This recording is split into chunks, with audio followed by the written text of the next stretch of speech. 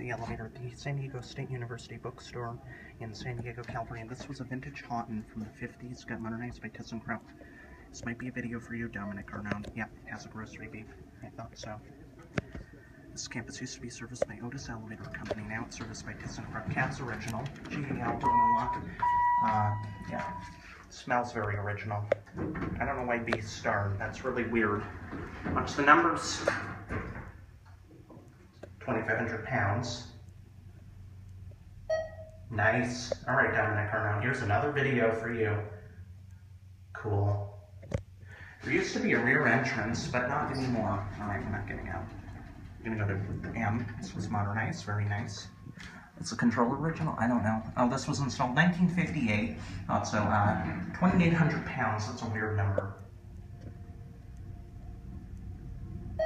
Motors replaced, controllers original though.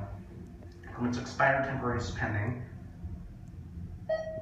Very nice. Look at the beautiful vintage retro cab. I really, really like this cab. Very vintage and nice. This was a Haughton, got modernized. See that? Uh, that's employee area, but it's not a restricted elevator. Watch the button go out. I like the blue LED. That's cool. Very nice.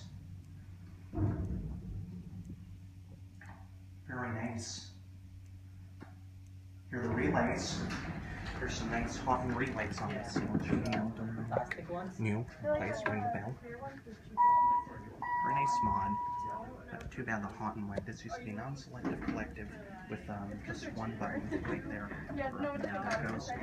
Pretty nice. It's still beautiful and vintage, but got modernized. Anyways,